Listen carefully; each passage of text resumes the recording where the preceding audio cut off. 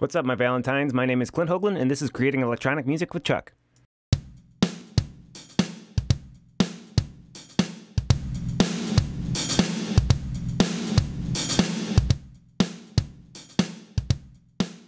In our previous tutorial, we talked about classes, and more specifically about how static variables within public classes can be used to share state between your ChucK scripts. In this tutorial, we're going to introduce the Dyno UGen and talk about a few basic ways it can be helpful. If you've been following along with these tutorials on your own, you've probably noticed a minor and annoying problem. It's pretty hard to make music in ChucK without clipping. Okay, so what is clipping? When we've looked at our sounds in Audacity, you've seen our sounds visualized as a graph, with time represented on the horizontal axis and amplitude on the vertical axis. Quick aside, the value that's being shown on that vertical axis is called amplitude, which is related to loudness, but it's not exactly the same thing as loudness. Still, things with a bigger amplitude are also louder, so if you want to think of the y-axis of this graph as loudness, that's perfectly okay too. Note that the way Audacity displays amplitude is as a value between negative 1 and 1. 0 is perfect silence, and 1 is as loud as it gets. If you do anything to exceed 1, that's called clipping. Now, if you're working with hardware, that might not be such a bad thing. What happens in hardware is that the top of the waveform gets lopped off and turns into something more like a square wave. This is essentially how distortion pedals work, and it can be a pleasing effect. However, in software, and specifically when using ChucK, when you exceed an amplitude of 1, you've just gone outside the program's ability to represent the amplitude's numeric value, and what happens sonically to that number is undefined. That means what you're going to hear is a momentary discontinuity in the shape of your waveform, which sounds like a pop or a click. If you've been following along with the prior tutorials, you've probably noticed this happening. That's the sound of your ChucK sounds clipping.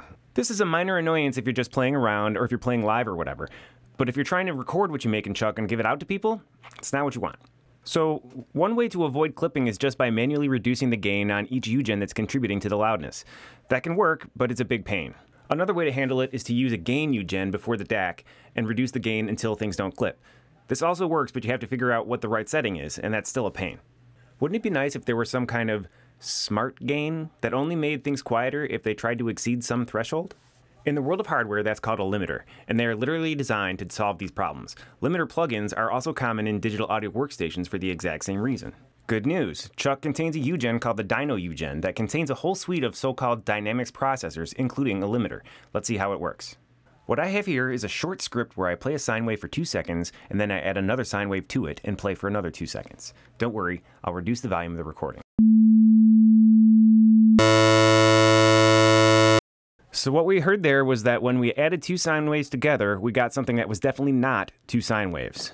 If we look at this in Audacity, we can see that the wave hits full scale and stops, and that is creating something more like a pulse wave. If we turn on this helpful indicator called show clipping, we can see that it's actually clipping at the same rate as the sine wave, which is why it kind of sounds like a musical tone. Let's insert a dyno processor in front of both of these oscillators and try it again.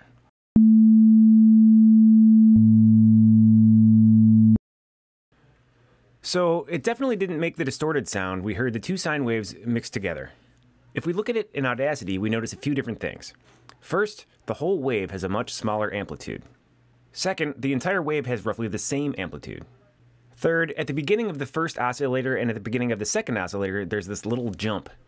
What's happened here is that we are seeing the default properties of the limiter inside the Dyno UGen. By default, the Dyno UGen acts as a limiter. It has an attack time of 5 milliseconds and it has a threshold of 0.5.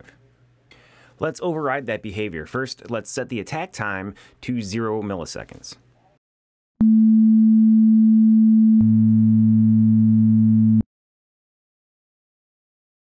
We can see that those little peaks are now gone. Now let's set the threshold to 0.8.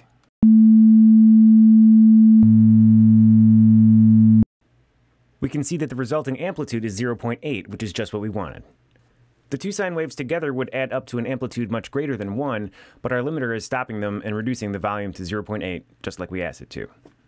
Now, the Dyno UGen also has other modes. It can be used as a compressor, as an expander, or as a noise gate.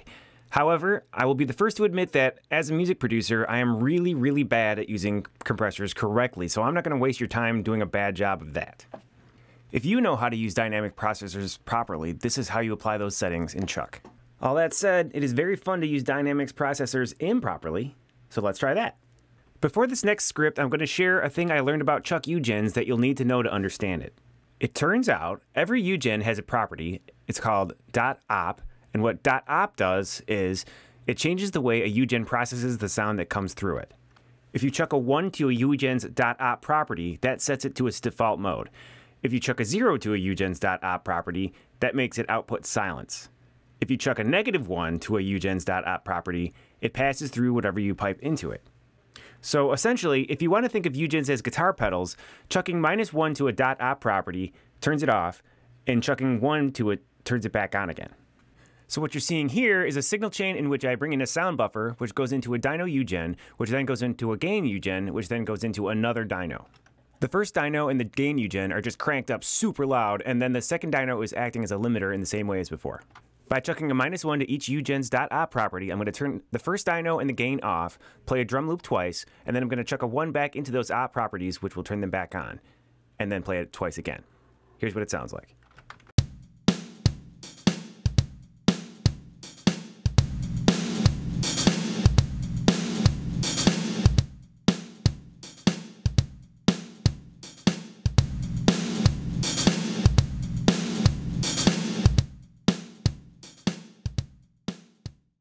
So what we heard there was when the dyno and the gain were turned on, the peaks of this waveform got crushed down very small by the dyno UGen, and then the gain UGen brings it back up. This has the side effect of raising the relative volume of the sounds between the peaks, lending more body to the drum sounds. Anyway, if you've been getting frustrated with clipping, the Dyno UGen is one way to work around that, and it also has other creative uses that we can look into more later, or you can experiment on your own. In this tutorial, we discussed how to avoid clipping by using the Dyno UGen. In our next tutorial, we'll talk about inheritance and how to make your own classes out of ChucK's UGens.